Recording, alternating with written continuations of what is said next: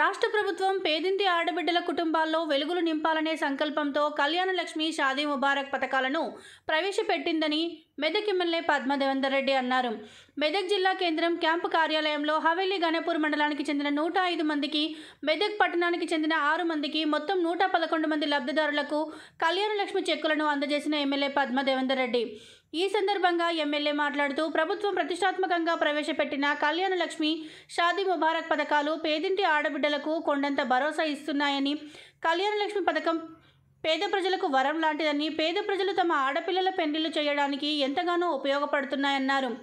రాష్ట్రాన్ని అన్ని రంగాల్లో అభివృద్ధి చేయడమే సీఎం కేసీఆర్ ముఖ్య లక్ష్యమని పేర్కొన్నారు.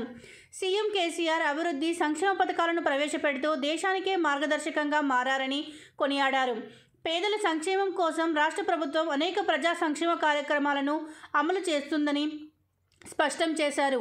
కళ్యాణ లక్ష్మి షాదీ ముబారక్ పథకానికి అర్హులైన వారందరూ దరఖాస్తులు చేసుకోవాలని ఎవరికైనా ఇబ్బందులు ఉంటే తమ దృష్టికి తీసుకువస్తే పరిష్కరిస్తామని ఆమె పేర్కొన్నారు. కళ్యాణ లక్ష్మి చెక్కులు మీ బిడ్డల పెళ్ళిళ్ళు చేసిండు కాబట్టి మన గౌరవ కేసీఆర్ గారు లక్ష రూపాయలు కళ్యాణ లక్ష్మి పథకం కింద మీకు పంపిస్తా ఉన్నారు. మరి మనందరి తరఫున వారికి మంచి దీవెనార్తి పెట్టాలి. ఎందుకంటే ఇవాళ రేపు మేడమామలు కూడా ఇస్తలేరు పైసలు వాళ్ళ కష్టాలు వాళ్ళకే ఉన్నాయి కాబట్టి మన ముఖ్యమంత్రి గారు మరి ఆడపిల్ల పెళ్ళి చేస్తుందని చెప్పేసి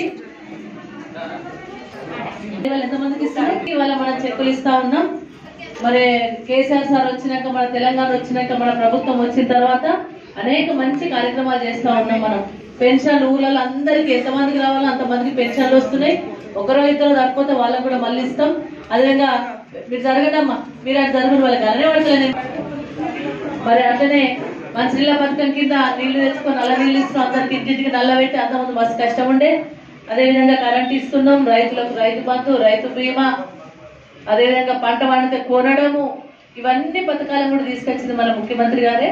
మరి తెలంగాణ వచ్చినాక ఊర్లు మంచిగా అయినాయి. ఇంత శ్మశాన వాటికలు కట్టిండ్రు డంపియాడు కట్టిన ఊర్లు శుభ్రంగా ఉన్నాయి చెట్లు పెట్టినాం పోలు మంచిగా వేసుకున్నాం కరెంటు మంచిగా అయింది. ఎన్ని రకాల అంటే డెబ్బై మనం అన్ని పనులు చేసుకున్నాం. మంచిగా రోడ్లు వేసుకుంటున్నాం మోరీలు కట్టుకుంటున్నాం. పల్లెలు శుభ్రంగా ఉన్నాయి. వర్షం పడితే అంతకుముందు వర్షాకాలం వచ్చిందంటే ఊర్లు ఊర్లన్నీ జర జిగ జిగ జిగ జిగుంటుండే ఆ గజిబిజ్ అంతా పోయింది.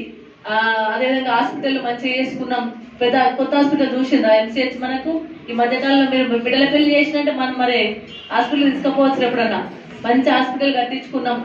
అక్కడ డాక్టర్లు కూడా మంచిగా చేస్తున్నారు. మొన్న ఒక్కరు ఒక్క నెలలో నాలుగు వందల మందికి డెలివరీ చేసిండ్రు. ఒక్కరు ఒక్క రోజుల ఇరవై ఐదు మందికి డెలివరీ చేసిండ్రు. అంటే చాలా మంది హాస్పిటల్కి వస్తుంది మంచి హాస్పిటల్ ఉందాడా ఇంకొక అటెండెంట్ రూమ్ బయట ఒకటి తప్పిపోయింది కదా ఒకటి కట్టిస్తారు. కట్టిస్తే ఇంకా మంచిగా ఉంటుంది. అందరూ కూడా గవర్నమెంట్ ప్రైవేట్ హాస్పిటల్కి పోతే యాభై వేలు అరవై వేలు కావాలి.